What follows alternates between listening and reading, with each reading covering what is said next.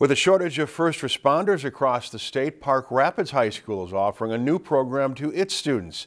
Uh, Josh Peterson shows us how hands-on learning and real-life stories are training future first responders. Park Rapids High School had a few visitors who decided to drop in. Emergency personnel from the North Memorial Level 1 Trauma Center flew in to share firsthand experience and answer questions from students who are part of a one of a kind pilot program that helps train and certify future first responders. Kind of a shortage of EMS workers in ambulance services and other areas, but also of volunteers. Um, first responder volunteers here in the community and in a lot of communities it's just kind of going downhill. Um, and we'd like to see some more people get involved. For our new program, the response and the level of interest from students has already impressed staff members.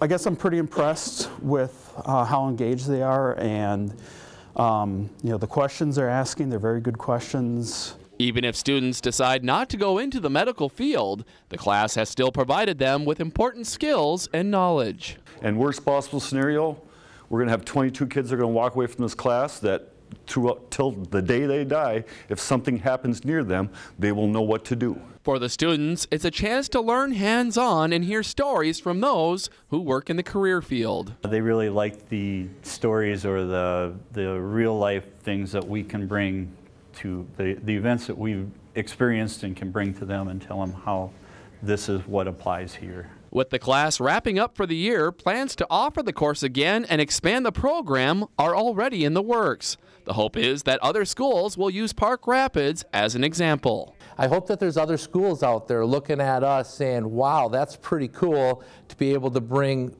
um, professionals from your community into your classrooms and help work with teaching the class. As students watched from a distance, they said goodbye to the medical team, who hopes their stories and their visit leave a lasting legacy. In Park Rapids, Josh Peterson, Lakeland News. Students who pass the course will officially be recognized and certified as first responders through the state of Minnesota. If you've enjoyed this segment of Lakeland News, please consider making a tax-deductible contribution to Lakeland Public Television.